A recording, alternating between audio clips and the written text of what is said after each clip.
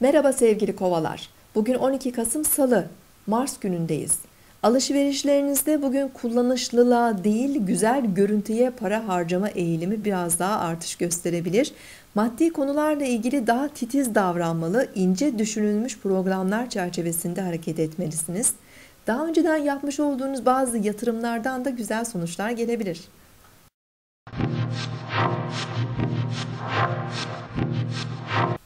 Burcunuzu dinlediniz. Bugün 12 Kasım Salı, Mars günündeyiz. Balık burcunda ilerleyen ay sabah erken saatlerde Satürn'le üçgen açı içerisinde olacak.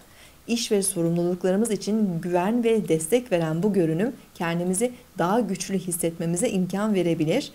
Öğle saatlerinde Ay e, bugün e, etkinleşecek Güneş-Jüpiter üçgen açısını da e, tetikleyecek ve gökyüzünde Ay, Güneş ve Jüpiter arasında büyük bir üçgen açı oluşacak.